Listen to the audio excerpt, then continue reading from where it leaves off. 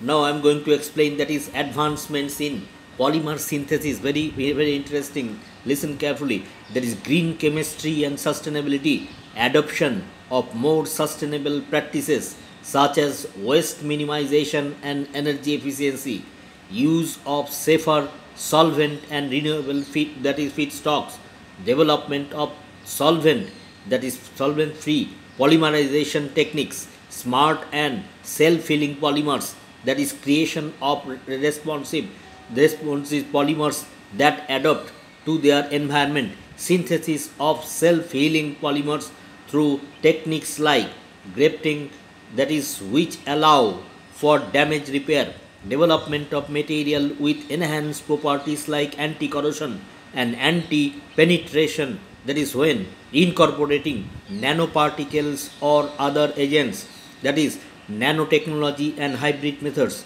blending traditional methods with nanotechnology to create hybrid polymers that is enhancing polymer functionality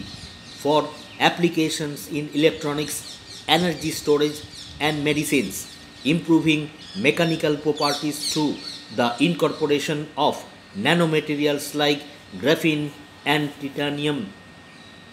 and nano nanotubes that is precision and control synthesis that is development of precision techniques like PET erupt polymerization that is that use visible light for controlled and well-defined polymer creation advancements in control chain growth polymerization through techniques like using that is pro, pro, programming and align that is mm, palladium palladium intermediates use of that is com, computational rule tools like Bayesian's optimization to assist in the discovery of new catalyst complex and specific polymerization biometric that is